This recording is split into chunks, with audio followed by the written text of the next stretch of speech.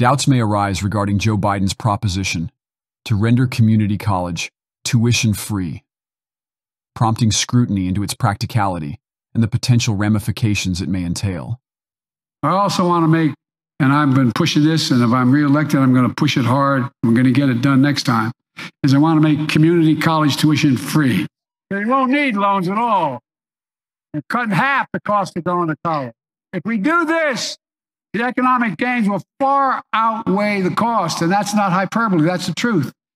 This, is in addition to the historic investments we're making to modernize, modernize our infrastructure, roads, bridges, high-speed internet, clean, clean water for every American.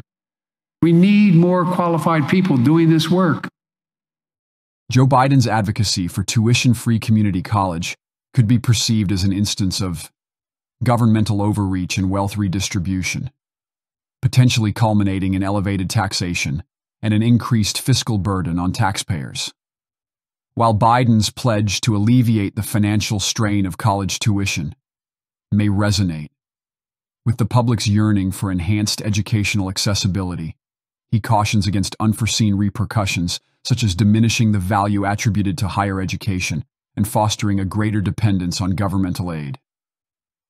A balance is sought between fostering a competitive educational landscape based on meritocracy rather than individual fiscal responsibility, advocating for financial equity and limiting governmental subsidies.